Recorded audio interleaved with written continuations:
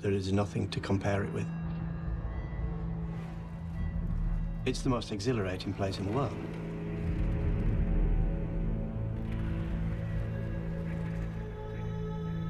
It's like being able to fly, just like growing wings. If it's in your blood, you, you can't get it out. You just want more. You put the earplugs in, the helmet goes on, everything goes quiet. You know it's ahead of you and everything else around you's forgotten. It's time to get on with the job. My mind goes completely blank. And my mind just goes into madness.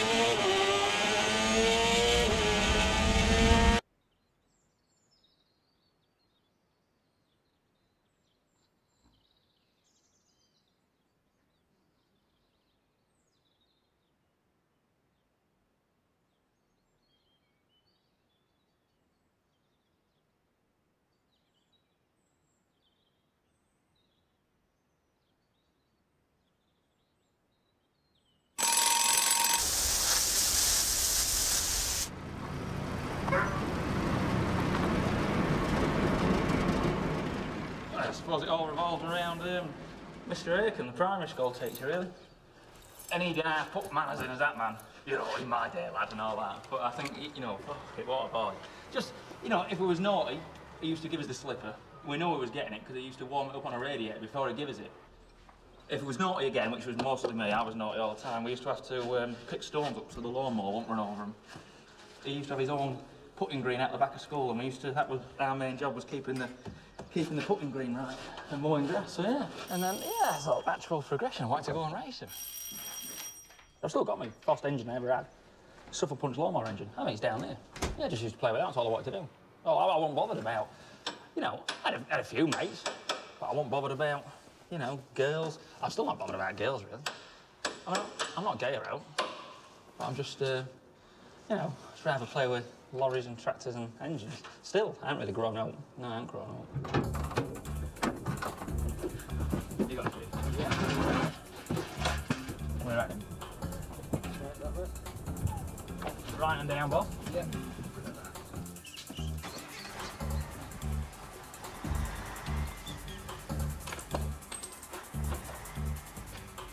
Road races. A bit mad. Um, what would you say? Tile short of a roof, one short of a six-pack, a few slates adrift. We'd use that one a lot. Lights are on, but no one's on. I can imagine from the outside looking in, anyone that's racing the TT looks like the lights are on, but no one's home.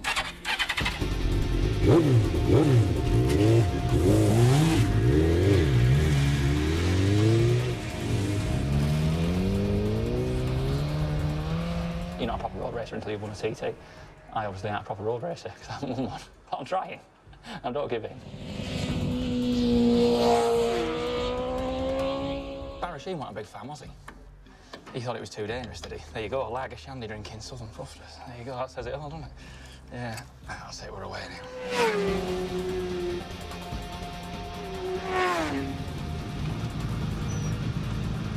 All right, boss. I was only watching that the other night. The Dambusters. Yeah, it's mega that. Wallace Barnes. You know, the idea that got into that was, um... Ah, not Napoleon. Who was your boy that used the battleships? Begin with an. Not Napoleon. Different things make different people happy, don't they? Some lads love going to the pub. I'm not being in the pub. Some lads love shagging. I don't like shagging. I don't mind it. I'm not into it. I'd rather just go and ride my motorbikes and push bikes, you know. It's whatever you're into, isn't it? If it was all the same, everybody would be a TT, wouldn't they? But different things make different people tick. And that makes me tick, and that's why I'm going to keep going. That's why I'm going to keep going until I've won one. Or won five, that's my plan. Win five in a week. That's not been done before. So I've got to do that. And then that's it. I'll go find the next job to do. I've got another big goal. This is a massive. It's, well, it's, it's massive. It's not massive, is it? It's not massive. People use that word, don't they? And you people, you tell you what people word people use all the time. Unbelievable. Oh, you can't use that word, can you? Unbelievable. When a man, like I've said this before, when a man eats his own head, I will then hold my hands up and say, right, that was unbelievable because I can't believe a man can eat his own head. But like we say, never say never. Unbelievable! Absolutely unbelievable! Evel Knievel was a big sort of stuntman at the time, and uh, I had Stars and Stripes suit and had Stars and Stripes helmet. And I thought it was Evel Knievel, you know. And my dad used to build me a ramp, and I used to jump 14 toy buses where Evel Knievel tried to jump the 14 real buses. And I wrote to Jim will fix it for me to do a jump with uh, with him, and uh, never even replied back. The miserable old goat, but uh, it's always been in me. I don't know any different. I'm not really interested in anything else, you know, football, cricket, or anything. It's just been bikes all the way through my life.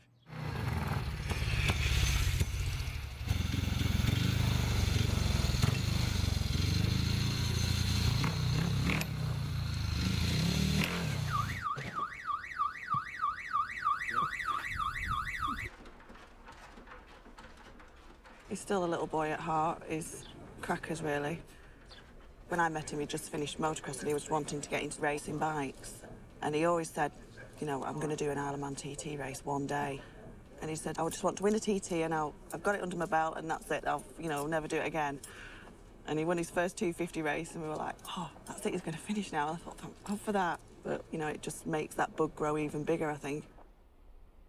Even then, when I was 10 years old, I used to watch it and it used to just blow me away. It's just think, you know, it's going to be a bit of me one day, you know, I'm going to win one of these. And if I'd have been sat there then and somebody had said, you know, I'd have 15 wins, you know, you'd have probably, probably laughed at him and fell off the wall, you know, but uh, here I am with 15 wins. But I still get that, you know, jitters now and, you know, like TT's coming, TT's coming, you know, you're building up, building up, get apprehensive, nervous, and months before the TT, you know, and when I think about it, it makes me skip a heartbeat, really. Then I have to have the house immaculate, my garage has got to be immaculate, everything's got to be have its place, and mow the lawn, make sure that's all right, clean the cars. So just in case anything does happen, then everything's ready, you know. So, but I definitely think about it, and you know, it's got to cross your mind. It has to cross your mind because it's there all the time. It's a reality that you, you know, you might not come back. John McGuinness, 1743, 127 under the lap record from a standing start.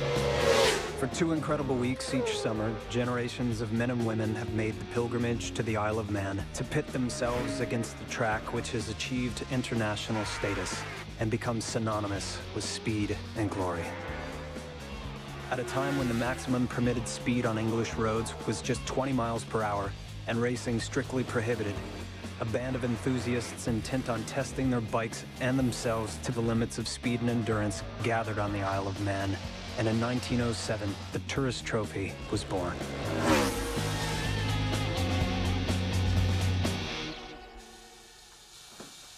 You see, look at the suspension. You see? And then put it the other way. Watch that. Keep watching. It'll do something. See? Look. Hey? Me and Guy's got this typical father-son relationship. yeah. Guy knows best and I knows best. Yeah. I'll get a brew. on. You see, steady cam, that's what it must have, must have shockers in it or something. What? See, when you was holding that thing, you can jar, but that takes all the jar out of the camera, doesn't it? The deer? I bet it's deer, that, innit? Go on, how much is that arm there, then? 1400? Fuck off. 14 grand? 14 grand? Fucking hell. Fucking see that? 14 grand.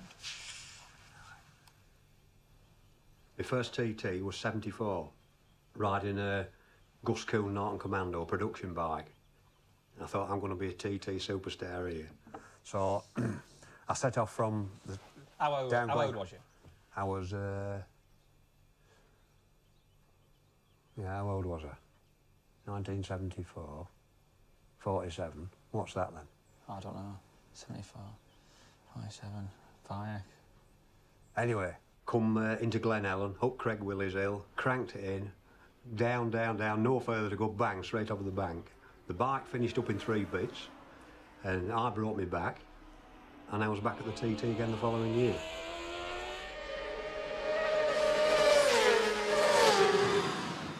Our worst crash ever? Probably Northwest. 2008, come off at Blackhill, lost the front on the apex of the corner. Not, not fast, maybe 120 mile an hour. Hit the curb with my ass at 120 mile an hour. And walked away, walked away, no bother. The bike was nothing. We could add a salvage, anything. Everything was written off on it, everything. And um, I got away from that, but it scared me. It didn't scare me for life, it just... Proper. I just thought, I just thought, another one of those moments I just thought, ooh. But I suppose that, you know, get it wrong, you're an inch out here, that's it. Yeah, we like that.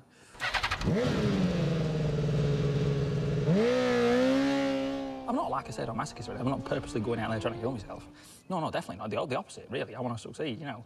But that's the buzz that you get out of trying to do that. You do end up in that position where it looks like it's going to be game over at any moment. But those positions, money cannot buy the buzz that you get there. That thing that you get that you think, "Oof, that's it, game over. You don't go into panic about. You just, "Oof, this is it, game over. Been in about four of them since I've been racing, and I've been racing 10 years now. And all of those moments, I think three of those moments were at the TT.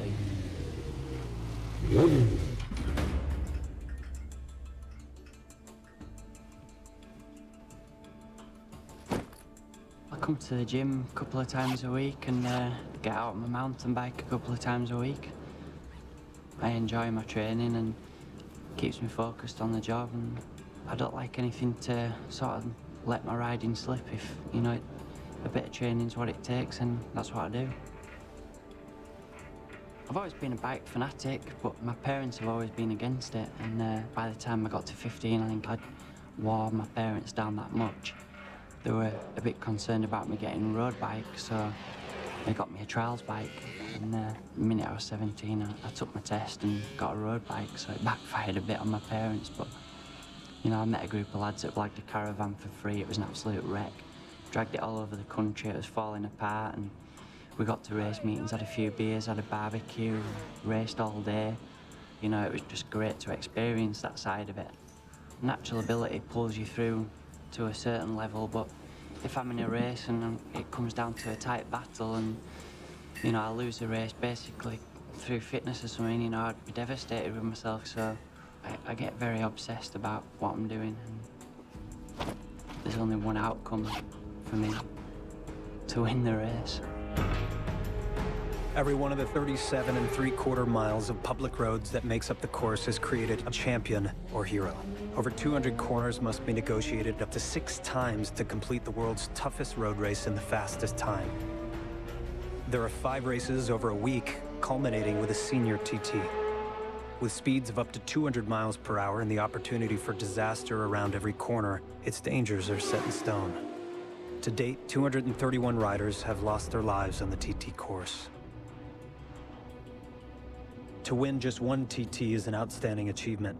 The legendary Joey Dunlop has an unmatched 26 wins. John McGuinness holds the outright lap record, and Phil McCallen is the only rider to have won four out of the five races run each year.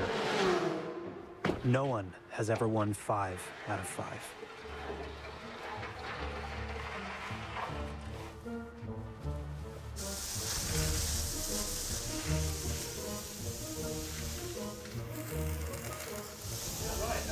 Fred, did me, sorry, I meant Guy Martin. So the laundry didn't come back. You know, I get told off for not saying the right thing or doing this or doing that, or not wearing the right clothes and what have you, and you know, and it just sort of gets on top of you sometimes. Well, not gets on top of you, but he just takes the takes the fun out of it all. Whereas Wilson, for me, you know, he's doing it for the same reasons I'm doing it. You know, doing it to enjoy it and doing it to win. And I see it as David and Goliath. And that's, I think that's what motivates me in many ways. That's perfect, yeah. That guy come back to a small team and can win. Could you call it a deal, Wilson? There wasn't really a lot of paper signing going on. Just a firm handshake, I think, Wilson. I suppose I should say, to have a gentleman's agreement, we need two gentlemen. well, I wouldn't have said I was a gentleman in a way. So, uh, I think that it's, it's, the guy's all right. yeah, but we won't go as far as gentlemen. you know when I was wanking, didn't you? Oh yeah, I used to regularly wake up and see a guy pulling one out. Yeah. I had to go back to bed for a few minutes while I finished him sent off. Yeah, because I used to sleep above the cow and I, I slept above you, didn't I? Yeah. You could tell. I didn't really know that until I broke my ankle right bad. Remember that? Yeah. Your toes good, you don't. When you- you're wanking. Yeah. So And you then see wouldn't guys' toes twitching, And you know I was on it. In the morning, his toes would be going. Think, "Ah, Yeah. give me five more minutes. Yeah. Crack Get a on. load off.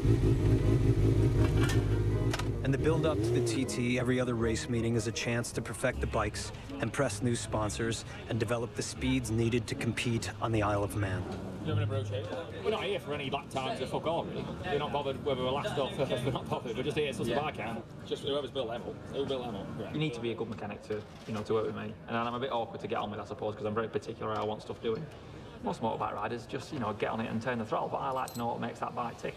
You know, I like the whole idea behind the whole internal combustion engine and the way stuff's made. And you need to have a bit of mechanical sympathy, don't you? You can't go charging in there like a bull in a china shop.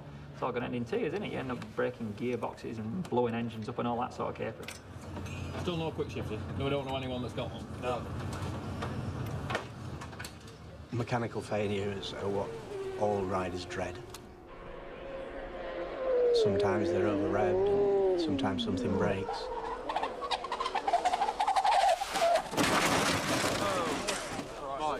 You know, if a part breaks, then it's just bad for everybody. And the TT, particularly because where you only get one hit and you've got to wait 12 months to have another go.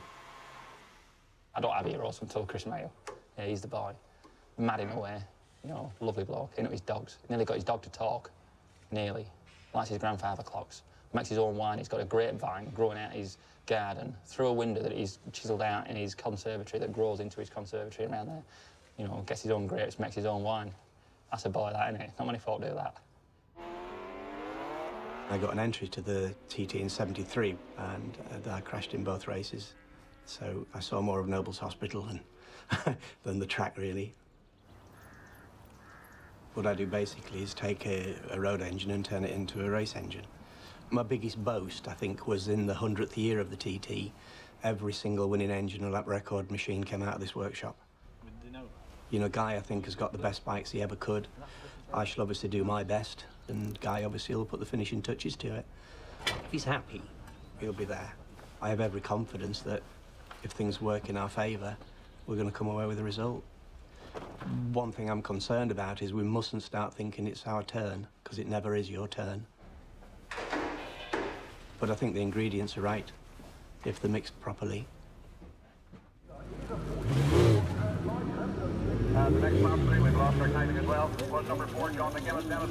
Northern Ireland's Northwest 200 race meeting also takes place on public roads and is the very last chance to get the bikes ready for the TT. Heads down for the lights above the track, and when they go out, this race will be underway. Michael Dunlop's been mugged, hasn't he? On board with Michael Dunlop then, just looking what was going on in front of him. There you see him coming down over the hill. 165 miles an hour. man's corner, that. Michael Dunlop and his brother William are the next generation of a road racing dynasty that began with their uncle Joey and father Robert Dunlop. They were the biggest road racers, I think, that the, the world has ever had, you know, so, you know, the inspiration I got from them was so much. And growing up with two people, you'd never seen them as heroes or superstars, you just seen them as uh, two normal people.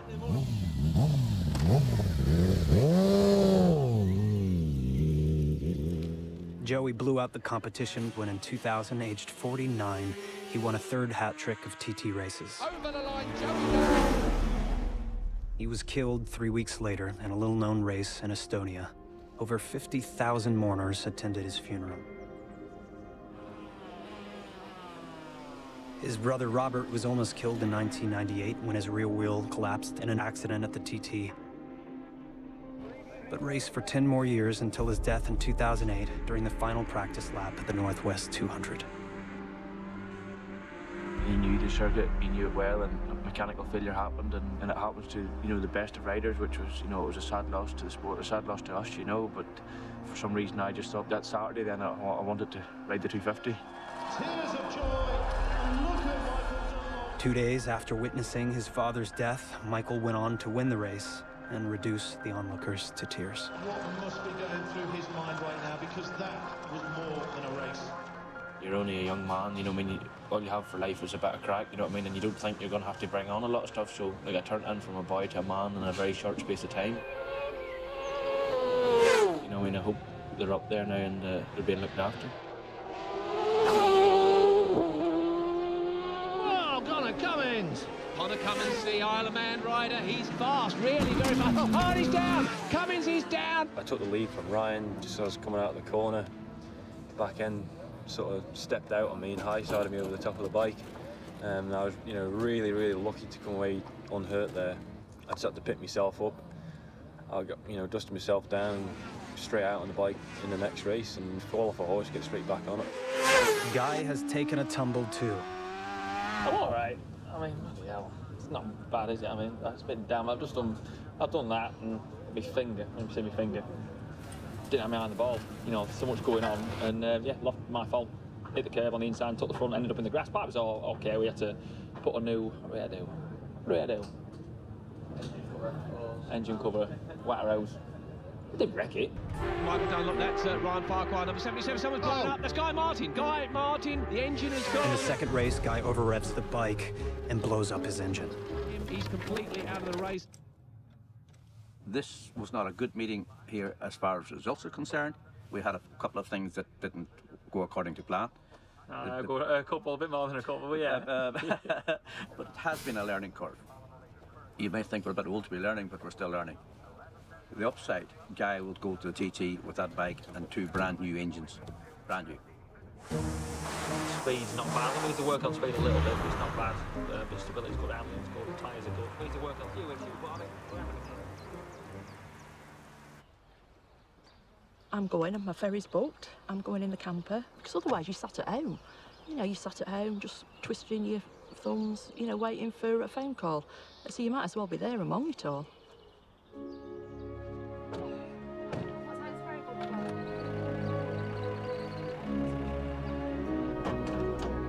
Yeah,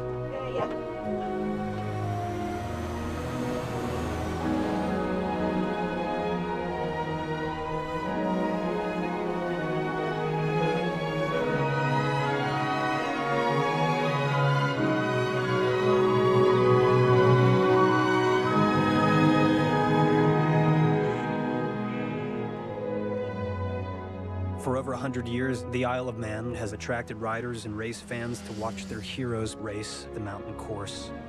Modest prize money means that this close-knit band of brothers ride purely for the love of the sport and the glory of winning. If you're born on the Isle of Man, you're sort of brought up with motorbikes and races. You've got the island going from black and white, quiet rural country roads. All of a sudden they've got teams of bikers going down them. It's just lovely to see the island come alive. Stories, stories, comfort stories, spinning away to the height of their glory. It's a festival, it's a coming together of everyone who appreciates motorcycling. The stories that are told as you sit on the hedge, or the marshals in groups around the island, are, are all lived and relived every year, and we never get tired of swapping them. Let's just say there's a large segment of the motorcycling population in America that knows well about the TT as I do, and probably have put it on their what we call a bucket list, things to do before you kick the bucket to go to the TT, and that, that's why I'm here. I had the opportunity to come. It's something I've always wanted to do. My father and I have talked about coming here together for years and never did. Um, he's passed away, so it's it's on me to, to come and enjoy the experience and share it with him however I can later on, perhaps. Well, I wear these leathers for 27 years now, and uh, at least 27 years more I will uh, bring the leathers to the TT. My name is Karen Anderson, and I've come all the way from Australia to watch Cameron Donald race TT. We sat above here in, in a room on the balcony and we watched the guys coming around that corner and there was a lamppost there and the lamppost was padded and they would come round dipping and then they'd do that in and out to get round the lamppost and that to me was heart in my mouth, heart in my mouth, heart in my mouth. Brilliant. Yeah, I know what can happen. With her on the back, you won't get too quick, else you get beat up. It's a very hairy place, very fast. to watch the bravest men in the world. And, and if it doesn't excite you, you're not alive. That's, and that's a fact.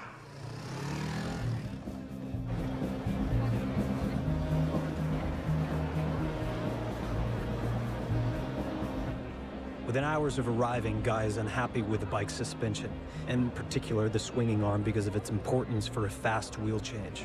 Wilson, can we put the other swinging arm in and get Simon to change the wheel? It's shit. And it's going to go wrong. The bike was given to me in the first place, Wilson. It wouldn't be going through this problem. And I did say this in the first place. So, Guy has upset the authorities too because of his plans to work on the bikes away from the paddock. I was expecting it to be tension because that's why I've, I've stayed out of the way. I've, I've got my airbed that goes in the back of my van. I've just been staying in my van. When it comes to how I want bikes preparing, if they aren't right, that's it. I'll just pack in and go home. I won't stick my neck out if things aren't exactly how I want them. And I'm so meticulous with things. But we're going to meet in the middle. We're going to have to meet in the middle, aren't we? I can't, I can't have it all my way because I mean, Wilson's bought the bikes and put a lot of money into the bikes. But I'm the one risking my neck out there, and that's why my head needs to be right. And Wilson always said from the, from the off that my head needs to be right. And then to get my head right, it needs to be my way, which is doing bikes with no interruptions. But yeah, well, I think we're going to have to meet in the middle, me and Wilson. The bikes have to be back here at a certain time, and then I'll have to do certain bits of nodding and smiling and agreeing with people. There's a contract, and the team gets X number of pounds, so they expect Guy to be professional. And guys sometimes make statements that uh, they don't like. Uh, people like him, maybe it's because there's a bit of a rebel about him, uh, and so on. So we have to, we just have to make do with what we have. If I dictated to Guy, wouldn't work. It's just a mechanic who is a brilliant rider, a brilliant motorcyclist. Uh, the bikes are ready to race, but he has to have his touch to the bikes. He knows I've given him everything he has asked for. Uh, so, you know, it has to work this time. And the bike will be checked checked again for anything, and uh, then you're in the lap of the gods.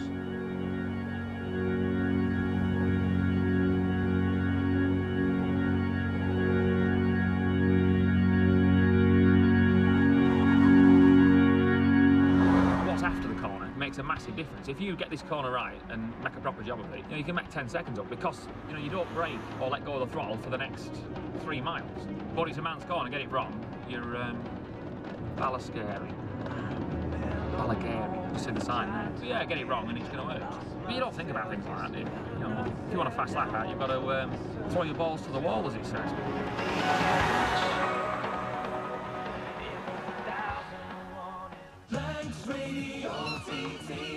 Weather. After a bright start today, it will turn cloudy later this morning. Then, although staying mostly dry this afternoon, there could be a little patchy light drizzle possible.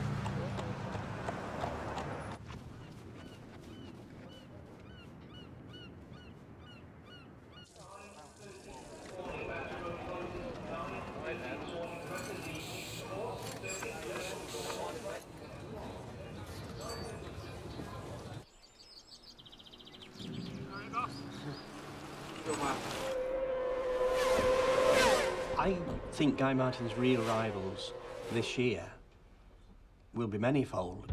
Cameron Donald's always been a threat. He's a bit highly strung, but he's fast, real fast. Conor Cummins is going to be a big threat. Conor Cummins, local Manxman. He's fit, he's young. Uh, Ryan Farquhar. Has gone ahead of Joey Dunlop in national wins in Ireland, and it's phenomenal. The Dunlops are coming strong. Michael's really aggressive and got that will to win. You know, I definitely want to get in a ring with him anyway. Keith Amor again, he's uh, dog on a lead, you know, he's just chomping at that bit to go fast and win. You never know what Bruce you're going to get. If Bruce wakes up in the morning and decides he wants to beat us all, he'll probably go and beat us all. You never bet against John McGuinness. He's the man at the minute. He's the man with the results on the board. He's the man when you go quicker, he usually raises the bar and goes a bit quicker again. Nobody knows how fast John can go. Nobody has actually taken John to that next level. Yeah, you never underestimate anyone. Someone could come out from the woodwork that you just didn't really expect and you know shock you. I don't know much about Hutchinson, to be truthful. He's one of the quiet men of the sport. Just does the job, I think. It reminds me a bit of myself, you know, 10 years ago. He's absorbing everything, understanding what it takes to win a big race now. Guy, you know, I think every man and his dog in the world wants flipping Guy Martin to win. And there's no question he's going to win one. He's definitely got the talent. But uh, there's some ingredient missing at the moment, and it just seems to find him. He's going to be the best man that's going to win on the day, at the end of the day. And uh, nobody wants to win it more than I do. As speeds increase, so do the dangers. And it was this that lost the TT its world championship status. But winning at the TT requires more than just speed. It relies on mechanical perfection, supreme mental and physical endurance, a huge dose of good fortune, and a very fast pit stop. A tank of fuel and a set of tires will only last two of the four or six laps required. Pit stops count toward the overall lap time and can make or break a rider's chances. 33. Already out. so okay. But if we have one mistake, goes to 40. The swinging arms in the bike now aren't safe to do a, a fast pit stop. It just happened, the bike I had last year was sold to a bloke on the Isle of Man. And I begged and pleaded with him to see if we can borrow the swing arm back out of his bike to put back in my new bike for this year. So he says, pop up and nick it this afternoon, and then we'll go tomorrow morning and put it back in the bike. We could do with your help. Guy's father has decided not to come to the race this year. It's a bit of an hard pill to take, really, my dad not coming. You know, he's a good man to have involved because he's got so much experience around here. He's rode the TT for 15 years and he knows exactly how things need to be. That'd give me confidence if he was involved. And now he's not here. It's not fuck the job, but it's um, it's made it a lot harder. And it took my eye off the ball a little bit. But what do I do? You and cry about it, can you?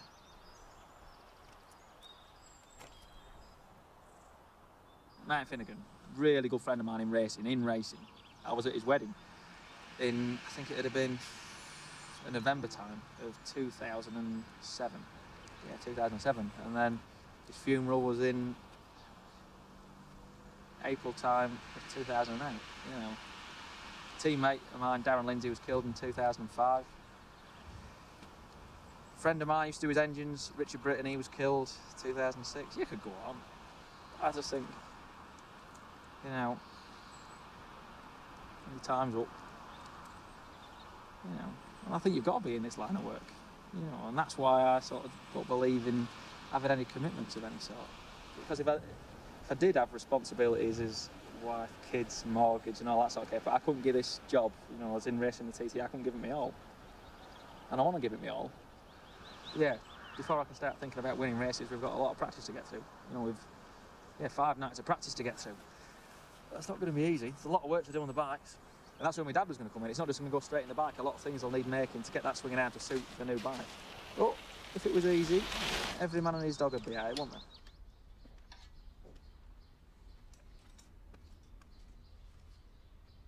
Chill out later on. Just find, I find a different place every night to keep in my van. Just get me airbed blown up in the back of my van.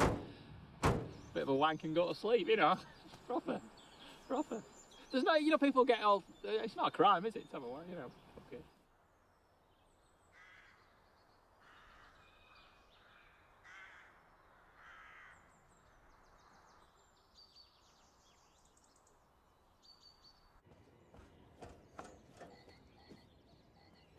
You never get complacent with the TT, you know, there's always something you can learn and, you know, if you get that way and overconfident, it'll bite you. I just went up and had a little moment on my own looking down the road because the road was shut. Wasn't a sound apart from the birds just tweeting away. And that's just something real special about the, track itself, you know. I was just looking down thinking, Ooh, you know, next week I'm going to, in the race, I'm going to be going down there at 200 mile an hour plus, you know. The emotion you feel when you roll up onto that start line and you're getting waved off 10 seconds apart is just, it's just unbelievable, you know. It's like nothing else I've ever experienced. It's not about beating the next guy, it's about who beats the track. This TT is the most powerful race you'll ever do in your life. I love it, like, it's, it's, it's legal. People often ask, you know, why do you road race? Because um, circuit racing, it's fast, you can get a buzz, but it's not the same. Circuit racing is rock climbing with a rope. It's dangerous, but there is some room for error. You slip, before you fall, you got a rope. Road racing is like free climbing. You know, you're climbing up that same mountain, you're on a course, but there's no room for error. If you make a mistake, it's it's going to be, you know, well, could be serious injury or worse. You're doing maybe 170, 180 mile an hour, going through fast bends with trees, hedges, brick walls. It's the greatest thing. And you realise the dangers before you put the leg over the bike. I mean, at top of Bray Hill, before I go out, you know, you have lots of strange thoughts in your mind and you're nervous and you're worried. But as soon as you set off and you get the tap off the start master to go down Bray Hill, that's gone. And then once you're actually out here, the noise, the wind, the physical strain on your body, there's nothing like it. It's just, you put yourself through hell and you frighten yourself so many times, but that is the draw. Out there, you can't fake it. You know, there's nothing that you can do that isn't putting you in the moment. And this is it. This, you know, especially if you ride two wheels. You know, this is about as, uh, as difficult as it gets.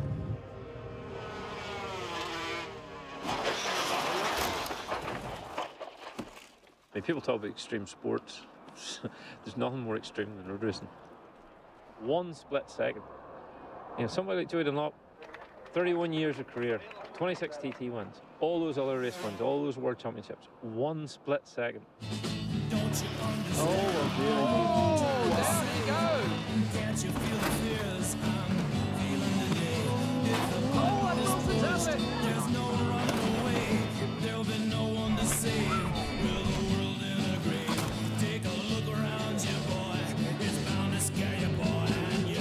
no room for error on the TT course. Of all road racing circuits, it is the toughest and most unforgiving.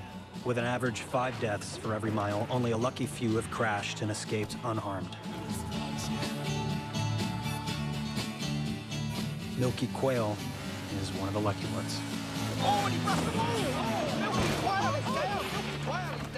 Your life revolves around the TT because it's such an immense, passionate thing. Whether you're on the track or off the track, it is a life and death thing. I know it sounds crazy and stuff. I mean, I've, I haven't raced around here now for what, eight, nine years, and I still now struggle with life because I can't do it. You know, I can't, I can't get my buzz. It's like you've, you've done the ultimate, and once you can't have that ultimate, then you're a bit like a, you know, a drug addict sort of thing. You just can't, you can't get out of your system. You love it. When I'm sat at the side of the track, you just want to do it. You know, it gives you, you think, yeah, yeah, yeah, yeah, yeah, and then so obviously if you keep yourself busy and whether it's blooming sweeping the floors or emptying the bins or you know taking all the riders round or you know meeting dignitaries and taking press round it, it keeps my mind off it really. Milky looks after the newcomers and shows them around the course. It can take three years of competing to learn it, and at least that long to build up the confidence needed to push themselves to the limits. It's all about confidence. You need to be confident where the corner's going, how fast you can go around that corner to build up your speed. So I'm still experimenting on how fast I can go a little bit more, a little bit more, a little bit more. As I build up and get used to the corners and the bumps and the rises and tipping points and the grids and everything, hopefully I'll keep going a bit faster. Get over get over. Oh, in by the hedge, transfer back over the bike again. Oh, into here, and guess what? There's another one here. Oh, that takes you three years to get right. After only two years of competing, Jenny Tinmouth is the fastest woman ever around the course. You definitely feel like you shouldn't be doing it. It's quite bizarre. You feel, um, you do feel cheeky and a bit naughty, you know, to be blasting around the roads. But I think that again, that's half the fun. And like when you set off down Bray Hill, it's just massive big grin. It's like it's just. As I'm coming up here, all I'm thinking about is the next corner that's coming up, which is called Ballagarey. Um, it's affectionately known as Ballascary because it is. It's so, so scary. It's so fast, it's the most important, but also the most dangerous corner on the circuit. The big problem with Ballagarey is it's on site on your entry point. So as I'm coming up to here now, I'm still hard on the gas, still on the gas, still on the gas. At the 30 mile an hour signs here now, this is where I come off the gas. I come down one gear effectively. I get my head out of the bubble and my head's getting ripped off my shoulders. But at that point also, I'm trying to look to, for my peel in point, but I still can't see it. I know it goes to the right, but where do I turn in? As soon as I see the curve on the inside, I lay the bike on its side and drive it, okay? And just fire through right by the curve. So, so fast. Averaging 131.57 miles per hour, John McGuinness is still the fastest man around the course. A hundred years ago, the first race was won at just 38 miles per hour. Throughout its history, even riders with no hope of winning have come to break personal bests and challenge the island's famous course. Riders are always chasing faster and faster lap times. First place, this is Nick Crowe. He's still second I just think it's got a certain addiction about it. Once you get here, you couldn't let it go. Then you know you were looking for the ultimate lap times all the time, and uh, I always set out to beat myself more than anybody else. You know, every year I just thought I'd do it faster and faster and faster, which I was actually doing. Unfortunately, until the time of my accident, which was really no fault of my own. It's just one of them freak things, you know. In 2009, while leading the race, a hare ran onto the track, causing Nick to crash his sidecar at 160 miles per hour. I think it just come up, damaged the front part of the, the fairing, and uh, come up and hit me in the face, and that was it. And I had obviously the bike turned immediately right then, and that was it, straight into the trees. Yeah, we were lucky to get away with that one. If we have a, an injury or a fatality, I tend to sort of want to stop.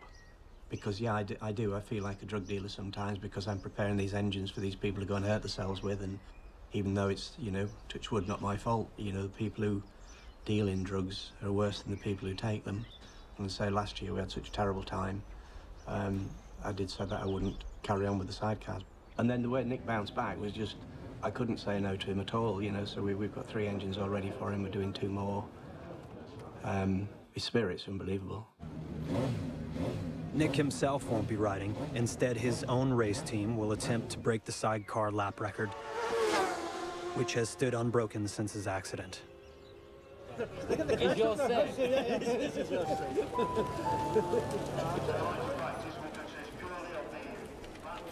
have to find Guy. Yeah, he's uh, some problem with his license. Have you got a problem with your license, Gary? Just have to have it rescanned. Typically, Guy is nowhere to be found, and he won't be eligible to practice without his race license. Until he returns, the bike can't go through scrutineering. We don't know where he is, as usual. He'll be here in a bit, hopefully.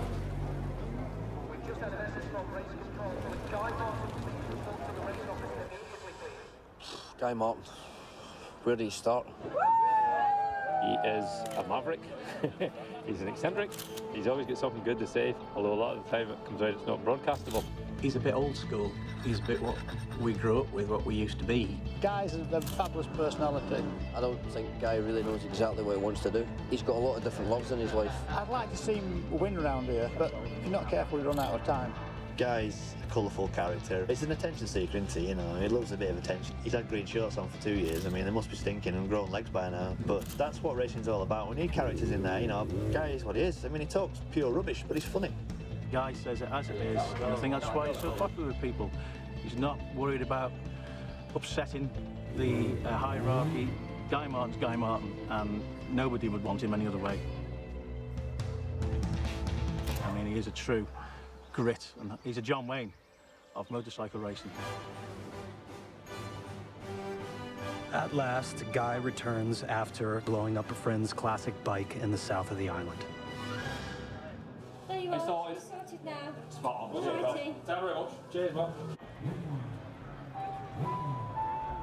The roads will be closing in half an hour, and tonight's practice will start at 7.30 prompt. Guy's race license approved, the team can finally make it through scrutineering with the bikes. Got conscience upon the Lord. Look at Yeah. Cheers.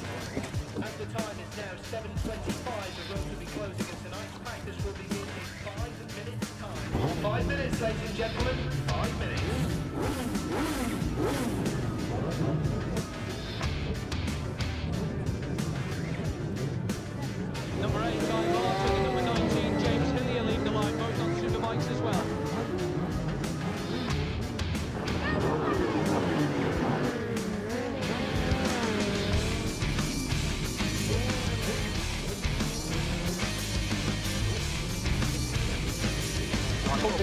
A fucking thing. I fucking stopped.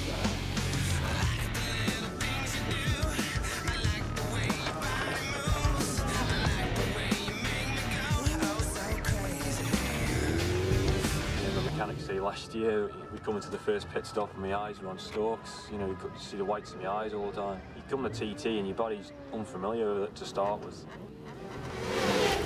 Stuff's just going past so fast. Standing start lap 125 mile an hour, you know, first lap, and it's like, I must be mad. It's spectacular, and when you've just, you know, plodded along on your road by thinking you were a legend riding fast, you, you know, it's like a totally different thing when you see the race bikes come through. You know, you might have driven to the pits that morning, so your top speed for the day so far is maybe 40 miles an hour. You let the clutch out, and within a couple of miles, you're, you're pushing 200 miles an hour between, you know, stone walls and hedges. So it takes a bit to get your head up to speed. But then you settle down, you start relaxing and getting more and more comfortable with the circuit. You start going faster, you start becoming smoother, you start breathing properly. You do go into like this weird sort of state of mind where everything starts slowing down. You start moving, your eye line starts lifting so much, and your brain starts working so much ahead of yourself. You're thinking like maybe four, five corners ahead. It's all about momentum and keeping your rhythm up and not getting into any uh, stupid battles with people. You know, and you got you've got to be really using your head. I'm a real hard rider to ride with. If you you want to want to race off me, you know, I mean, you're gonna have to be willing to wrap around a post. You know what I mean? And that's the way I race motorbikes, and uh, that's the way I'll push, and I'll push any man to the better end. If they want to play ball, you know, they can play with me. You know.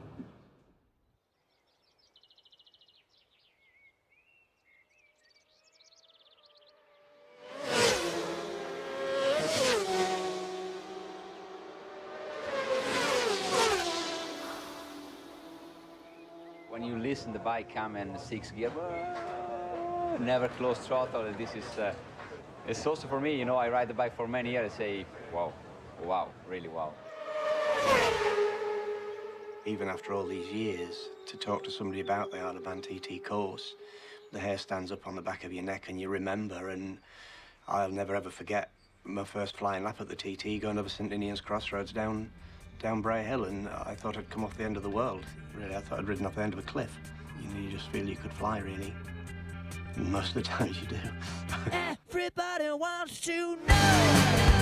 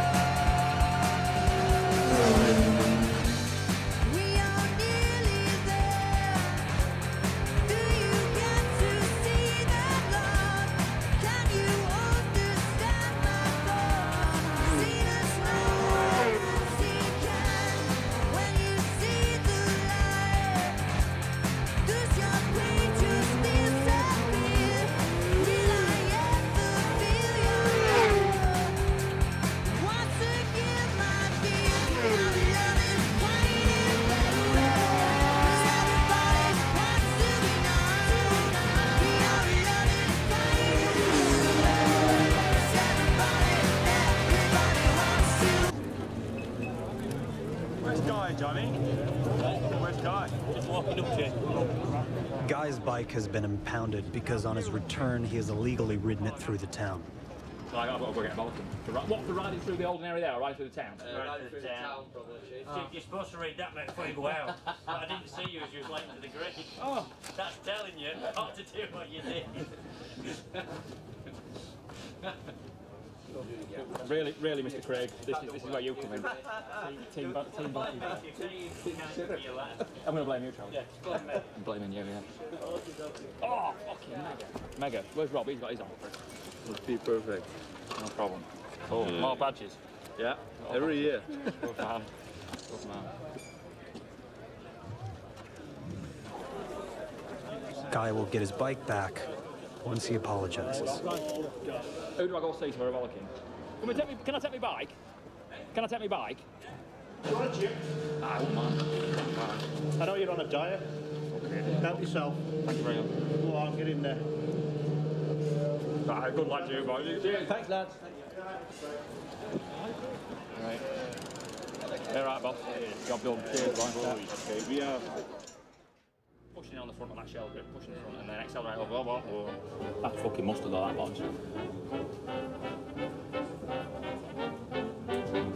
Has that got the same sprocket carrier? Yeah. If there's one thing that I like, it's riding around on a motorbike. I'm a speed king. When I once begin, I once won first prize, two and six. I know all the dirt track, dirty tricks. I'm a maroon when I'm out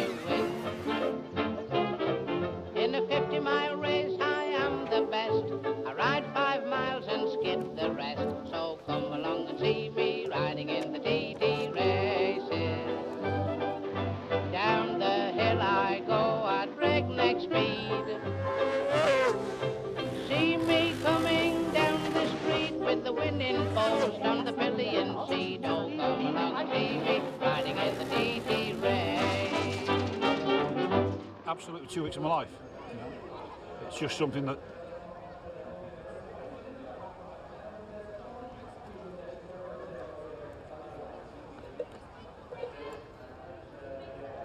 that to me is like the World Cup.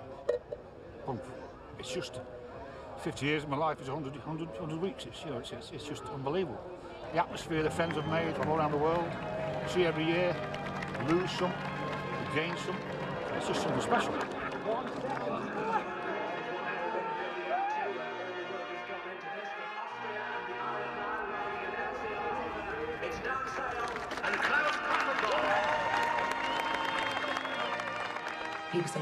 Got children, you, you know, you shouldn't be allowing him to do it. But you took racing away from Dan and it would just be the end of Dan's wheels and I can't do that to him, you know.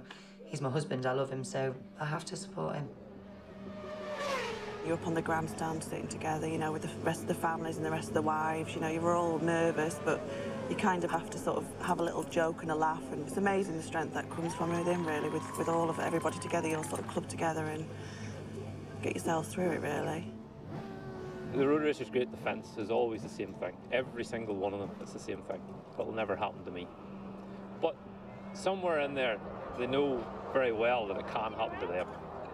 And between those two places, there's a lot of ways of dealing with it. I wore the same crash helmet for the last 11 years, and you know, I always wear a certain pair of socks throughout the whole fortnight, and I always uh, drop a penny down my leathers as well before the start of every race. Yeah, it makes no difference whatsoever, but I wear pink knickers if it was going to make me win. You got your passes in that, yeah? I ain't got oil in that. You need a pass. I got oil. Can't get patch without a pass. No? No, that's the rules. It's the pit area, you see. Pit area, you can't. That's what you need. You need this One of them. You take that one. I'll stick it back on the fence here. Cheers, mate. I'll pass back on. Cheers, mate. I'll stick it down there, mate. Yeah. There's no question that the Isle of Man TT represents uh, kind of the last bastion of the freedom of choice. And to come to a place like this and to have something so truly, you know, potentially dangerous uh, be welcome, really, is refreshing. It's charming. It's, it's all of the things that should be allowed to go on other places. I mean, we're human beings. Life isn't a dress rehearsal. You only get one lap. Why not make it a good one? This is where I start the mountain climb. So this one I have to slow down for, back down to second gear, boom! I get into the wall, into there, as I come through here, the bump just there, bang! So we run now up through this little right-hand kink here, still flat, still flat, on the power, on the power, on the power, on the power, on the power, underneath the wall, off the power, down one gear, boom! Back on the power now to drive, under, drive, drive, drive, drive, drive, back down to second gear. Back on the power now, pull the bike straight, get up, get up, get the driving on, up towards these little left-hand kinks here. So this first one here, just get back underneath there, out towards the tree on the right-hand side of the road, right to here, okay? We run up to now to go to Guthries, okay? Guthries is the third most important corner on the circuit. We've got three left-hand bends here, okay? But it's very steep. This is the one, get the first one right, get into that one, into there, out to the right line, back into number two, out to number three, just there. See the corner on the brakes hard, down three gears, one, two, three. Back into there, back on the power, drive it through, right towards the white line, back over towards the external white line, back in then underneath this one just here, feathering the throttle, there we go, lovely, nice wheelie. Bang.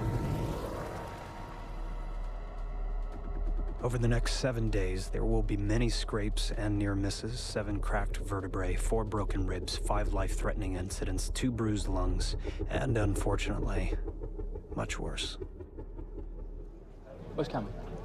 In there. What's the plan? what? Tea. Tea, Yeah. Get us tea and get early start in the morning. Boys know. Is that the plan, Wilson? What's the plan? These boys are asking what the plan is. You, you, the plan is you're riding the bike. Well, yeah, well, well, there you go. That's it sorted. Go. Well, obviously a fair bit of mist up here in Douglas at the moment around the area here, but it is clear up on the top.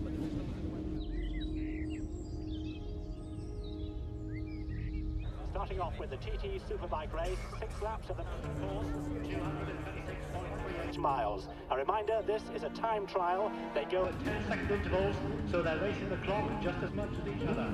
Most of all, of course, they race themselves. They race tradition. They race the history of the mountain course. We're one minute away from the start of racing at this year's TT. The laws of average tell me he's going to win. I would like him to win the first race because I believe that'll settle him if he wins the first race, they won three or four. I really believe in it. And it is a Suzuki that sets us going. There goes Bruce Anstey with mist still rolling along Glencrutchery Road, but we are racing. And there is the number one machine of Bruce Anstey, looking very compact there through Union Mills. And there is John McGuinness, the fastest man in the history of the mountain course. And here's Hutchie with two wins last year, was on a superbike. And next off is number eight, 28 years of age. Here comes Guy now. He's fast down Bray Hill. It's Anstey, and here we go. We're on two together. John McGuinness leads on the road ahead of Bruce Anstey. Number six, Cameron Donald's closing the gap between him and Keith Amor. They've got a battle on there. The advantage being held by Cameron Donald. But here's Guy Martin now, and he's quick. John McGuinness has had an amazing start to this race, but Conor Cummins, the local lad, is right behind him, only eight hundredths of a second down in second place. Back here in the grandstand, I can tell you from my screen that Conor Cummins has taken the lead and Ballaugh on corrected time, a three-second lead over John McGuinness, but John clearly has problems because at the Sulby speed trap he's gone through at only 136.4 miles an hour. So clearly problems with John McGuinness and the big Honda. But up to Ramsey and Roy Moore. Well, they said it was going to be close, and it certainly is, because Guy Martin's here. Oh my goodness, Guy Martin was nearly taken out there by Michael Dunlop, but it was close. Conor Cummins, number 10, leads by six seconds from Corey and Hutchinson. It's then in third place, Guy Martin, just one second down on Hutchinson. John McGuinness is Straight. What a disappointment. The king of the mountain is out on the first lap, but on with the show. Number four who is leading on the road. Number 10 has increased his lead to 14 seconds over number 40 and Hutchinson. We could see uh, Manxman on the top of the podium for the first time for several years. Cummins has got a fantastic lead now, 21 seconds. If he can just hang it together, there'll certainly be some Guinness drunk in the Swan in Ramsey tonight. Hutchinson's lap time, 130.496. So here's Conor now. Let's have a look at this. Oh, it's 131.511 by Conor Cummins. And wow, what a performance by the man from Ramsey. Well, the light came on at Cronk-ny-Mona to signal the arrival of number six, Cameron Donald, but he's failed to appear. Now, we reckon that Cameron may have made a mistake on that lap, so possibly an overshoot at signpost. That seems one logical explanation for that. There we've just got another machine coming in now. It'll be Guy Martin. It's in now. Guy's just coming into the top of the pit lane now. And it's Conor. It's on the way. He's just been told there. Bring it home, Conor. Bring it home. He knows he's got a 21.1 at Glen Helen on this lap. 23.3. Well, that's the klaxon going. Hutchie leaves now. And Cameron, he'll be kicking himself for that mistake. He's now dropped to 13. Oh, Conor stalls. Conor stalls. Is he going to get it going in now? It just won't fire up. Quite a bit of time. Come on, come on, come on, come on, come on, come on. Oh, no, no, no. It's fired. It's fired. Oh, Conor, a big shake of the head for the big man from Ramsey there. Guy Martin goes as well. And Guy fast into the speed limiter there and nails it. Charlie Lambert. So a 21 second lead, and all of a sudden it was down to four seconds. 17 seconds disappeared during the course of that problem of getting the big ZX10 fired up again. So it's all to play for then in the final two laps, and there's some work to be done by Cameron to eat into Conor's lead. So Conor Cummins, Ian Hutchinson, Guy Martin and uh, Michael Dunlop, those are the top four. The order is the same, but the gap has most certainly changed. First of the late numbered runners now in pit lane. And here's number 26, Paul Dobbs, racing with the Kiwi on his helmet. And there's Jenny away now. And we've just had news that Conor's missing. Conor Cummins missing here at Glen Helen. Waved yellows out here as a machine comes into view now. No, it's not Conor either. That's number eight, Guy Martin. Conor missing at Glen Helen.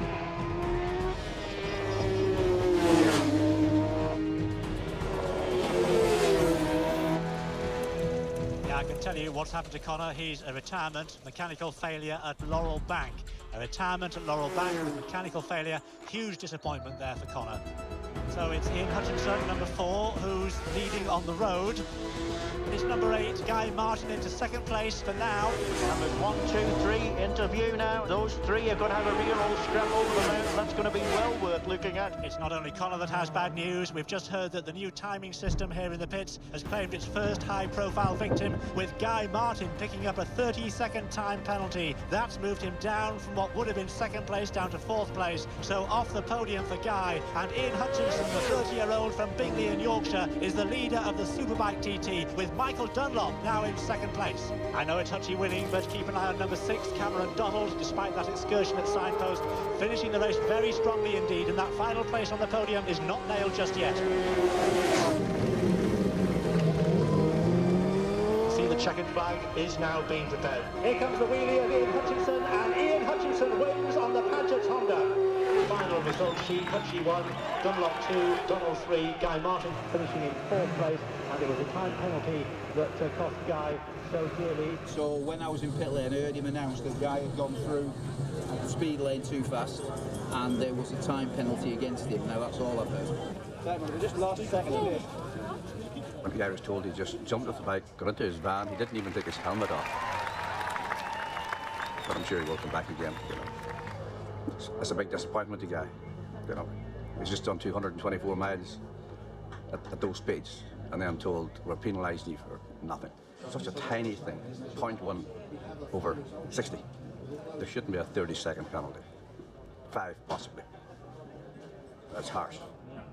They're measuring um, the average speed over a distance, and who's to say that their distance that they're measuring over is accurate to within a millimetre? We have book rules and regulations, by the way.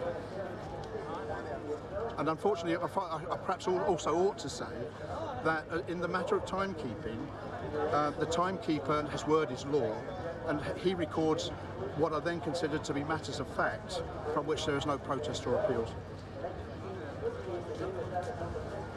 Okay. Yeah, well, that's it. Monday's a new day, in it? And, you know, Guy's got another two races on Monday. So, you know, as long as Guy turns up this evening open-minded and puts today's race behind him, you know, he's got another Superbike race as well on Friday. Um, you know, we'll, we'll just move on from it.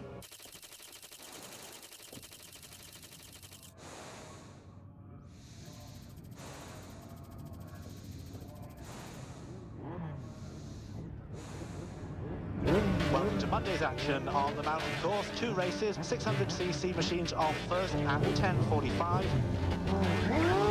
Guy Martin has blitzed them from the start. And the last guy, Martin, is still leading the race by just over a second from Ian Hutchinson, with Dan Mead in third place.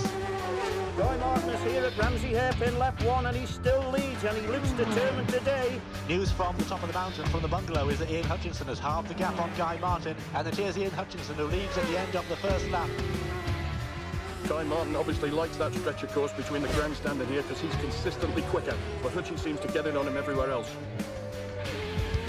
His trouser bulging excitement here. Guy Martin is leading the race. Now Ian Hutchinson has gone back into the lead. It's Guy Martin back into the lead. There's Hutchie now leading on the road. Oh, as quick as that. Charlie, what's the difference this guy comes in? 3.3 seconds, so Hutchie has been going away a little bit. Guy Martin's been told that you can do this, and I'm sure there's thousands of you out there would like him to do this. The guy have problems there on the way. We heard a lot of shouting. Guy goes through with Keith Amor hot on his tail. Michael Dunlop slots into third. But here's Ian Hutchinson, who's extended the lead. It's now over four seconds. Stand by your beds because the news from Ballaugh is that Guy Martin has halved the gap. Ian Hutchinson is coming towards the end of the race, and Guy Martin has now got it down to less than three seconds at the clock. Guy Martin is having the lap of his life. But is it going to be enough to give him his first victory here at the TT? And Hutchie crosses the line right now, but where is Guy? He started 40 seconds after Hutchie. We started the stopwatch, and we're going to be counting it all the way down to those 40 seconds. 37 is 38, it's 39. It is victory for Ian Hutchinson by 3.03. Guy Martin is in second place. Michael Dunlop is in third place with a final lap of 126.587. The 1, 2, 3 is Hutchinson, Martin and Michael Dunlop, and it's down to Chris Kinley. I don't know where, um, Tim, where's that guy gone to, actually? can tell you he went straight up the return, that's as much as we know at the moment. So uh, going Did not come into the winner's enclosure. He went straight up the return. We'll have to find out what's going on there. Okay, Charlie, can you see? There's people that made rules, and it's nothing to do with us. Paul's trying to do it. It's not. You know what I mean? It's not Paul. Paul doesn't make the rules. Now this is me being. Yeah, we're not really proud of you, so just please. Come on, guys. Well, get yourself there, guy. Wouldn't you be? Yeah, guy, I'd be upset, but I wouldn't take out on the people that's supposed to be the mates. Point one one two. Whoa, whoa, whoa, whoa, whoa, guy, guy, brakes, brakes, front brakes, front brakes. I'm going to hold this bomb in a minute. Now then, boss. All right, Where'd you go? 60.112. That's you boys being picky. This is me being picky. I'll do what I want at my speed. So this is Saturday's race you're on about, isn't it? Yeah. Yeah, not on. We'll let you get down the bottom there and we'll have a longer chat later on. Okay, Guy, thank you very much. Guy's off there now.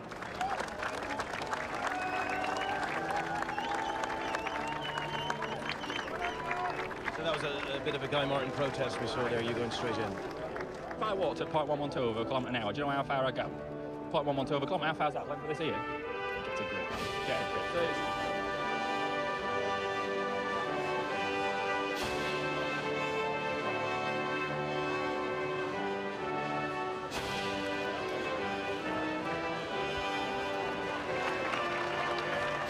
The applause. And richly deserved as well. It's been a terrific morning's racing, and these guys will remember this for one reason or another for a very long time. And Guy Martin is not hanging around at the top of the podium. He's already making his way down. He's taking his bottle of bubbly with him, though. Tell me about how you feel. Eh, They've been awkward with me, I'll be awkward with them. I'll just do things, they want you, oh, you've got to do this, you've got to do that, you know, press this, press that, fuck it off. They've been awkward with me, I'll be fucking awkward with them. That's simple. No problem. No problem. Don't worry, that's only the tip of the iceberg. You wait till I win a fucker. I didn't even think about it really, but just agree with them. You're better off. Out, I say, was just out grapes. Anything at all, I say. I could have said out. So I'll, I had to do an interview yesterday morning. I just said, oh, I was happy to finish fourth. Happy. That's where I wanted to be. Obviously not, I wanted to win it, didn't I? Well, they're not helping you with dickheads like that. Oh well. Worst things happen at sea, we're still here, aren't we? Everything gone running well. Obviously not well enough. You beat me? Yeah, I know what needs to be done. There's another three races left yet, isn't there? It'll come. And there is the race leader, Ryan Farquhar, really looking in. Something must have gone wrong at the start for Guy. He was well outside the top 10. It's Hutchie's victory by 1.3 seconds. Hutchie, Ryan and Conor in that order. It's Patrick Hutchie winning three TTs in a week and there are still two solo TTs to go. I just give it absolutely everything I could and just unbelievable, man, unbelievable. After that win, stop. I hear the ocean beat up on the shore outside my from sleep to listen to her graceful tune. She makes me feel alive, her power more than words can say. Send shivers through my personal, clears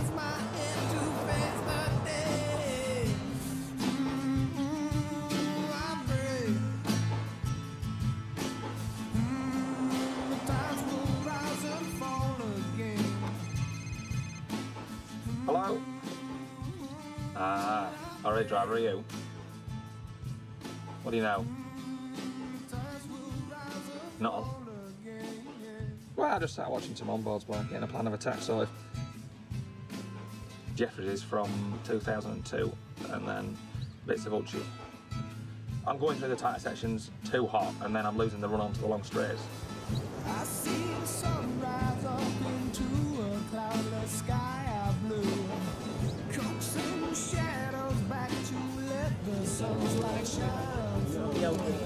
Going?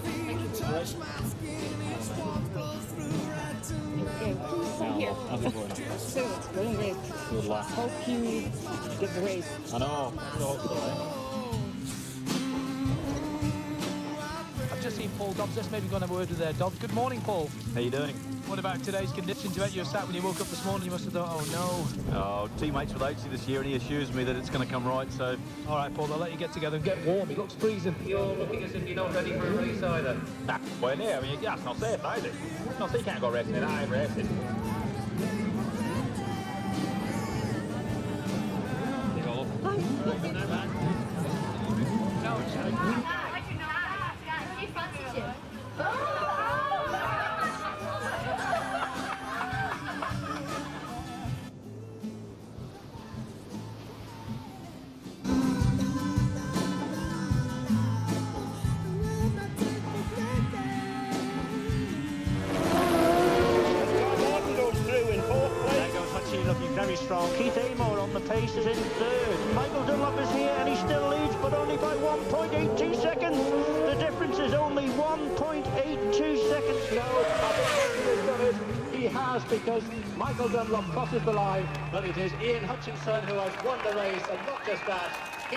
the most amazing piece of history here today. The first man in history to win the first four TT races, and only the second man after Phillip McCallen to win four in a week. Ian Hutchinson, the new king of the mountain, no question about that.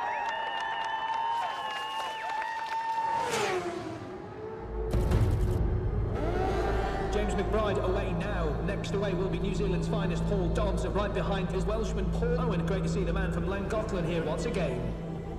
Well, we're on the start line and then shake hands with your mate and always wish them all the best. I set off behind my mate Paul Dobbs because you're 10 seconds apart. You can count them when they just disappear. You start counting.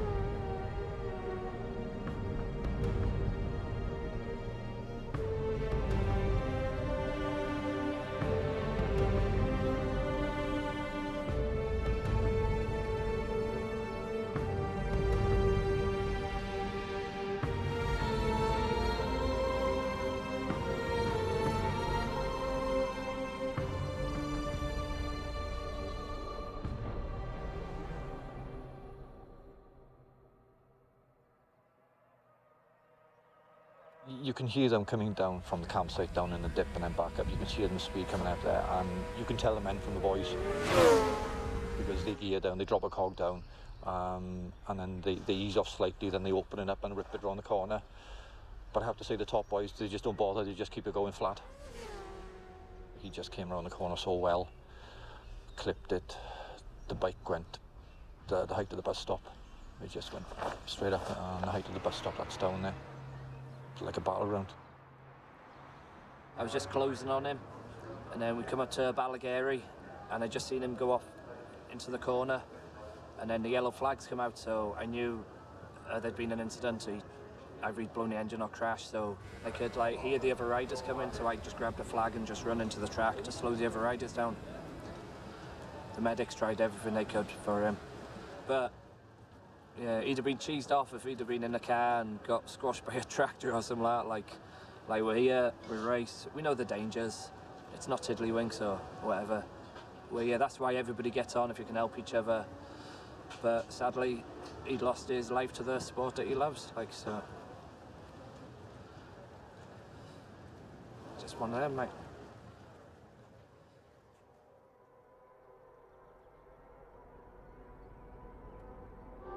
I had one of those moments, you know, that happen at some point once or twice during every TT fortnight, and I just stand and look around and and everything you see, the bikes, the overalls, you know, you hear that siren, pit entry siren, or everything going on. I just thought, I love this.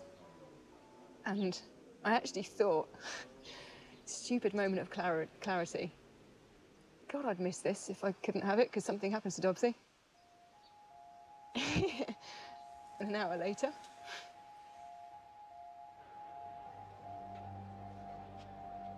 Anyone could lose their partner tomorrow. People step out under a bus. People are lost every day. You, you, talk about that and joke about it all the time, you know. I might not be here next week, is what people say. But when it is part of your consciousness, even a subconscious part, it really does make you love life. It makes you appreciate who you've got and what's special about them and just how lucky you are. The reason we make that choice to go racing is just the whole, um, you know, we're here for a good time. What can, you know, how can we get the most fun out of life? And we want the kids to share that as well. they they come along, they love it, they're part of it. Because we had that time with them, it's made us who we are, it's made them who they are. You know, they're, they're incredible. Um, they're strong, they're fun, and we have fun. You know, we have so much fun. It doesn't stop. And we're going to keep on having fun, you know. Ride the bikes, play the music, dance in the kitchen, you know. Still love the TT, still love the island, you can't change that. You can't love the death, you can't love the loss, but you can't love the, the excitement and the thrill without knowing that that's part of it it wouldn't be so exciting if it didn't have the risk. That's why they want to do it.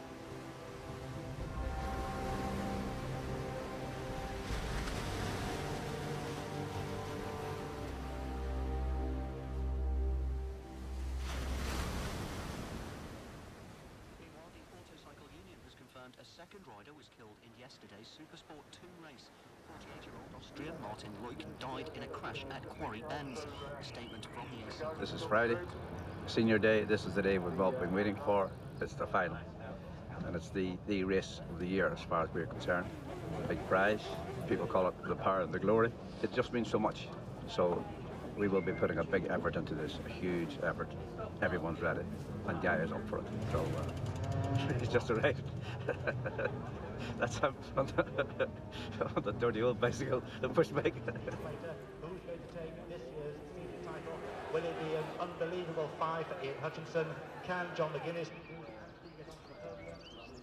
Had a second, had a fourth yesterday, had a fifth in the so I've not had the best of weeks really. Just a few little issues in the way I just bike setup, but it's all food for thought. And I've got to try and take them through into today's race and go play the part and see what I can do. I'm going to go out there and I'm going to try my hardest. But then sometimes I've been look, I've been watching on boards, I've been watching this and watching that, and am I trying too hard? And I think I look in a couple of places I am, and that's what's holding me back. So, yeah, I'll put my finger out. That penalty, I didn't feel really hard, but done by. it. Worst things happen to say. I just come sat in here with my helmet and my boots, my gloves, my leathers, and all that shit on. I just sat here and at the time, if someone had come in here, if Mr. Speed Gun Man or whatever had come in here, I'd have threshed fuck out of him. but really, Mr. Speed Gun Man, I'd have threshed fuck out of him. I'm not a fighting man, but there's a time and a place for everything. And something's like that going on. Point, whatever. It, I don't even get me started on it. One four so far, and it'd be great to get the fifth, and you know, it'd be the fairy tale story. But uh, obviously, uh, everyone's been gunning out to get me all week, and I think in some respects the pressure's kind of off them with it just being one person that's done it all week. What more can they do? It's not as if you know there's been four different winners and they haven't won one. It's just I think maybe the pressure's off them a little bit. But um, on the other side of it, it's the last race this year, and you know if they really are determined to win a TT this year, this is this is a last chance. Cummins posters around yet, but uh, there'll be a big groundswell of support for the local boy. If you go out there with Ed head riled, you know, if I listen to Rage Against the Machine before I go out, you're going out there with the wrong frame of mind. So I'm going to go out there listen to. I think I might have a bit of Otis Redding on before I go out. Yeah, smoke me ten Bensons. Do you want ten Benson? That'll do, will it? Yeah, I'm taking. I'm not taking up smoking. I'm taking up smoking after July. But there's been a few moments in this past couple of weeks where I've just thought, but I've not. I've not. I've. I've not smoked. So I think a bit of Otis Redding on the start line. Pretend to smoke a fag. And take it as it comes.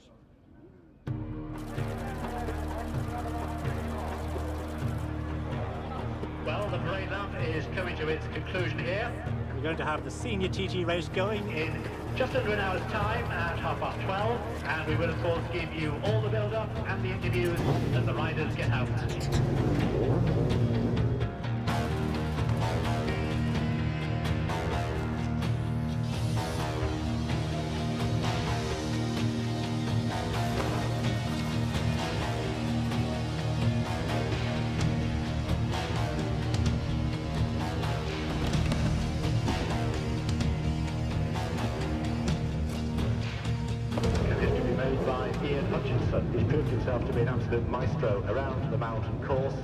Is the number one machine of Bruce Anstey. The lap record still standing at 131.578 miles an hour. That's set by John McGuinness last year. Less than 10 seconds to go. Well, I can tell the members of the Guy Martin fan club over there on the far side of Glencrutchery Road that their man is still one of the favourites, along with the big local hope, number 10, Conor Cummins.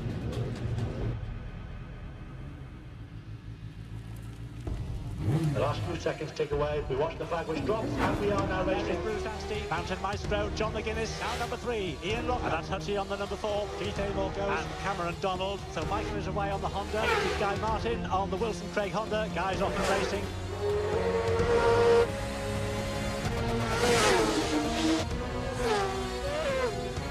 But I can tell you, we look to the scoreboard that Guy Martin, number eight, leads, but only by 0.45 of a second from number 10, Conor Cummins. There's only 0.06 of a second then between him and number four, Ian Hutchinson, with John McGuinness just 0.74 of a second down on him. So one and a half seconds cover the top four here. And a tight line in from number eight, Guy Martin. 131 mile an hour lap for Guy, 131.108. That's Guy Martin's fastest lap ever around the mountain course, and he's absolutely on song today. All about those guys on the 8 and 10 plates, Guy Martin and Conor Cummins, but it's so close right behind them. Hutchie and John McGuinness are right there in the mix.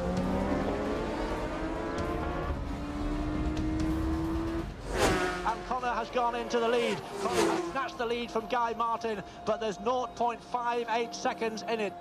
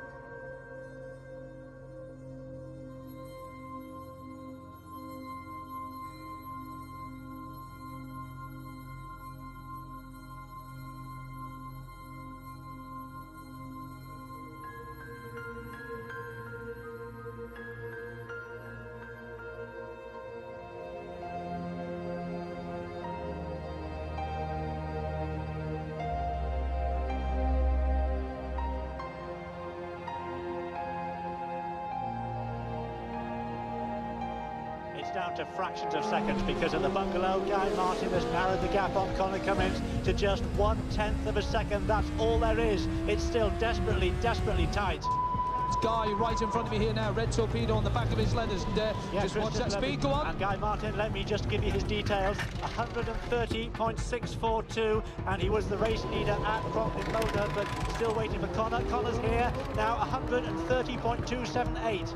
A brand new tyre in for Guy. She fires up and he is away right now. So great pit stop by the Wilson Craig team. And it's the McAdoo boys who are on it now. Tying her up, Mark and Mark just says go, go, go, go, go. She fires and the big man is away now.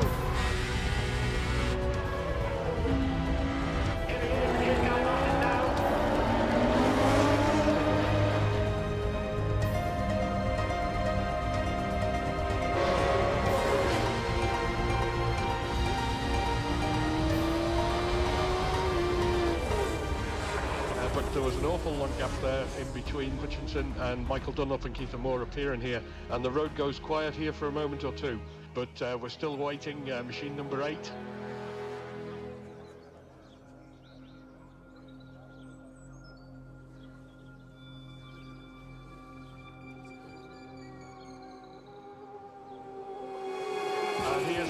Number 10, so we don't appear to have a Guy Martin here. Guy Martin is missing.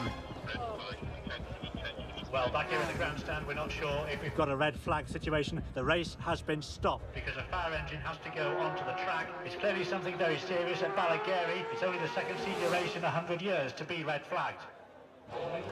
Incident at Ballagarey. And uh, Martin hasn't reached point. Glen Helen. Red flag, boys. Red flag.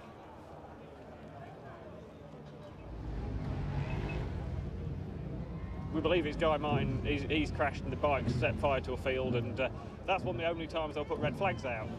gut wrenching for everyone. The team are pacing up and down. You can see the team boss's head down, not knowing what's going on. I mean, no, nobody knows any better than anybody.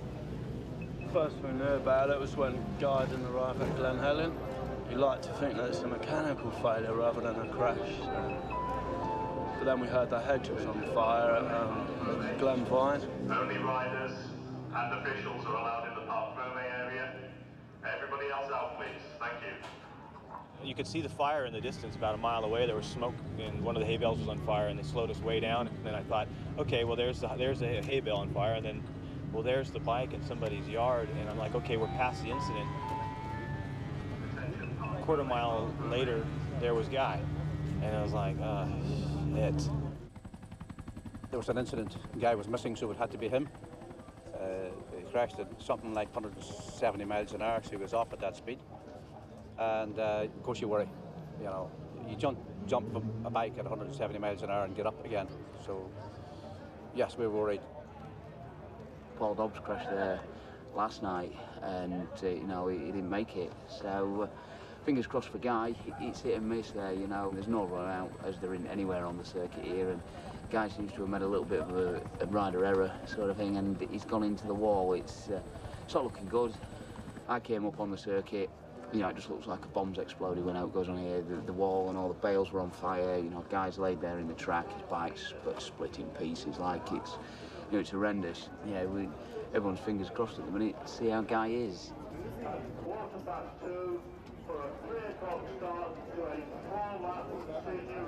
It's just how it is, sort of thing. We all enter it. There's no gun to our heads to enter. We all love it, and at the end of the day, if it goes wrong and the worst does happen, they've died an happy man, like. You know, the show's going on. We've got four laps uh, coming here. We're at three o'clock start. You know, it'll be no slower. Now let's give you the track conditions. Road, lack of adhesion at Ballagarey. Dry around the rest of the course. Visibility good for that race. Charlie Lambert. Got me fingers crossed for Conor today. He'll be out there giving it the berries as usual. I'm right behind you, Conor, if you're listening.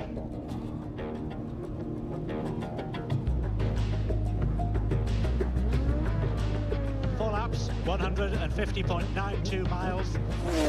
John McGuinness, the race leader in the race before it was abandoned, is away on number two.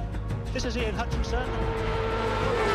And number 10, Conor Cummins, looking so good for the first couple of laps. He's got to keep it together for the full race today. And here comes the first of those machines. It is McGuinness. Here's Hutchie now, 0.61. That's all there is between the two of them. And sad to report, Michael is a retirement at Joey's, and Cameron is off the bike. Here's Conor now, head down. So the big news here at Glen Helen, lap two. McGuinness appears to be out. And it's 3.24 seconds that Ian Hutchinson leads number 10, Conor Cummins.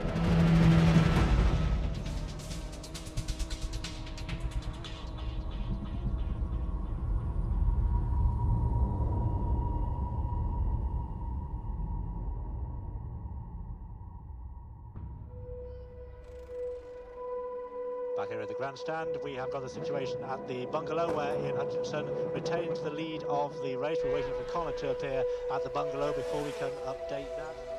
News of Conor Cummins, he came off at the veranda and he's receiving attention. So Conor off at the veranda. Ian Hutchinson crosses the line and rides into the history books. Forget the famous five. This is the fabulous, fantastic five by the Bingley Bullet.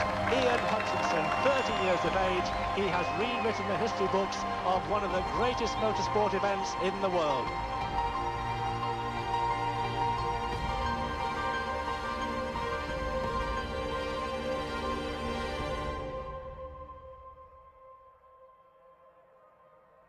Again, it was the sound and uh, the blur, but the blur stopped. He's coming around the corner, good race really good race in all fairness to him. Uh, and he was flying around. The bike comes down, and he kicks the bike away, and the bike literally turns into a fireball on impact.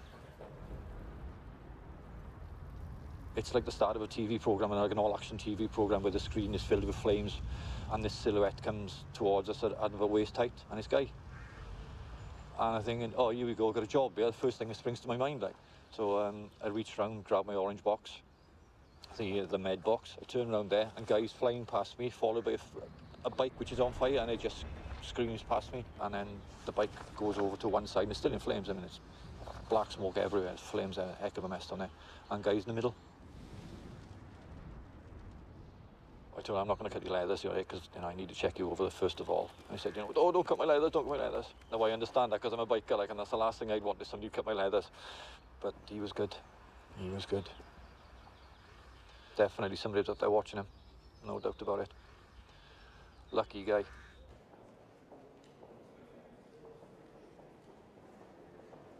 I thought, right, job was looking good. Job was looking good, 131 and a half from a standing start. Um, slow him to come into the pits, I think 130.6. Battling for the lead. Went out from the pits, got about five mile out Glenvine. Took the front. Thought I got it, thought I got it, got it, got it, got it. So you've had a few moments like this. You just ride into the grip that you've got. And I was riding up to that point of I knew whether there was decent grip. You couldn't really push past that point. Because I just left the pits with another full tank of petrol and had this idea in my head, the grip that I could I'd ride up to. And um, um, obviously not. I think the full tank of petrol probably made a bit of difference. Um, lost the front. Fast runner. You know, one of the faster corners of the track. Probably 160, 70 mile an hour. took the front, and I thought, I've got it, I've got it, I've got it, I've got it. No, no, I haven't got it. So it's a jump ship, and um, I think I ended up with a few. I've got a few bits of singed eyebrows and eyelashes and singed my fringe and what have you. But it's uh, I ended up in the wall. I think I can't remember much. I was knocked out. But I'm still here, and I'm not bad really. I mean, it could have been a lot worse. Couldn't it? Could have been a lot worse.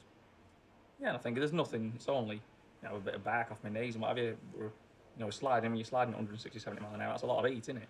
You know, I've got a bit, a lot of friction burns from sliding. There's a few broken ribs, punctured lung. Um, four chip vertebrae and two cracked vertebrae. Apart from that, I like a new one. So yeah, just sat here and and um, yeah, I think I think I, I think here I, I'm thinking I'm sat here I'm moving my legs about. Oh, I'm invincible. But then I try and get off and I think, you know, I'm not I'm not as good as I think. Say like out with the spine, you can't rush it, can you? You know, it's a stable fracture as it is at the moment, but push any harder, you know, you can like Conor is just up the corridor there, not looking clever. You know, his back's a bit worse than mine, and I'm just sending him away to get his his shoulder and his elbow screwed together. But part of the game, boy. We all know the risk. No one's making us do it out. All part of the game. Put me in that position again, I'll do exactly the same again, boy. Exactly the same again. I'll be back. He's just making me work for it, isn't he? Sorted.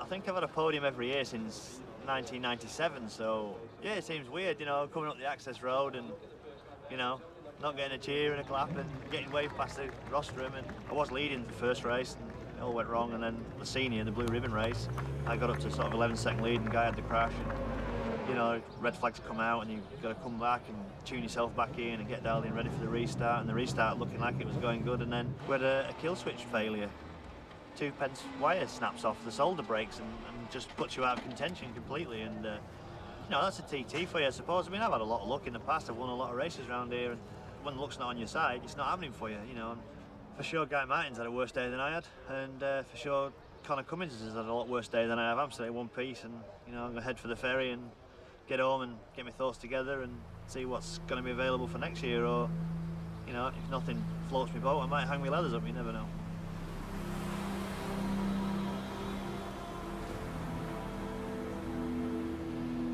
Me and the kids together have had our down times, and I haven't tried to hide anything from them. You know, we've we've done our crying together. And then, okay, what are we going to do now? Get over it, move on.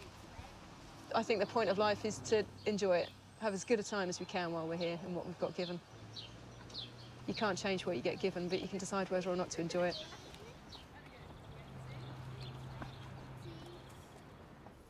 I've been to look at where the crash was.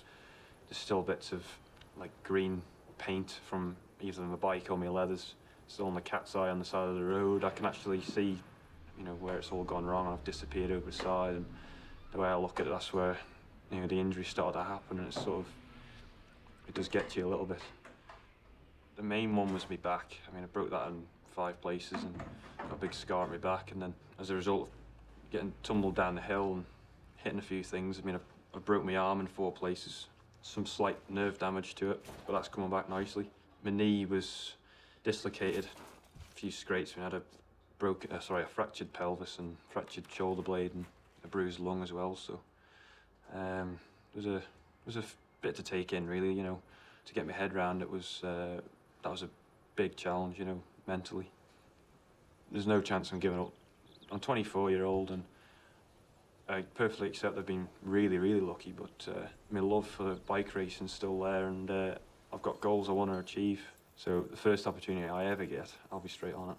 That's my plan. You know, come up to the veranda next TT or whenever I get back, and uh, just attack it like normal. It was a big one, but we'll just get on with life. the world ain't gonna stop for me. Tremendous start round the outside. We think Ian Hutchinson, the five times in a week winner at the TT, uh, may be the lad who's down there. Unfortunately, uh, gone to a second to last race of the year on a um, short circuit, not a road race, and ended up with this injury. So I mean, it's a shame how it happened, you know, to be ridden over by somebody else. You know, when it happened and they were talking about amputating my leg, then uh, there was only one reason I didn't want it amputated, and that's so I can race a motorbike, you know. Apart from that, nothing else really matters, so... You know, my argument was to get my foot back on, and uh, not only get it on, I said, you know, I don't want a foot just on the end of my leg. I want a foot that's 100% working so I can get on with my job. Something happened.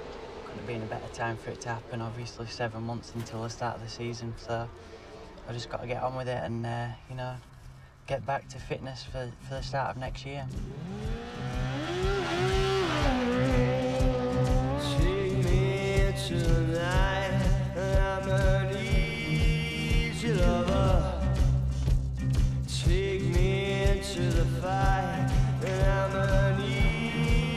Take